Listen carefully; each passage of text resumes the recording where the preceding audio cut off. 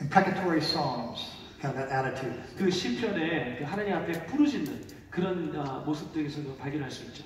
Jesus says, Love your enemies, pray for those who persecute you, so that you may be sons of the Father, therefore be perfect as your heavenly Father. 그러나 예수님은 이렇게 말씀하십니다. 나는 너희에게 이르노니 너희의 원수를 사랑하며 너희를 박해하는 자를 위하여 기도하라. 이가 아, 그러므로 하나님의 하늘에 계신 너희의 아버지의 온전하신 것 같이 너희도 온전하라. Another, 1 John 4 8, uh, Jesus, uh, John writes, In the light of Jesus, anyone who does not love does not know God. Why? Because God is love. 요한은 또 이렇게 말합니다. 사랑하지 아니- 아니하는 자는 하나님을 알지 못하나니 이는 하나님이 때문이다.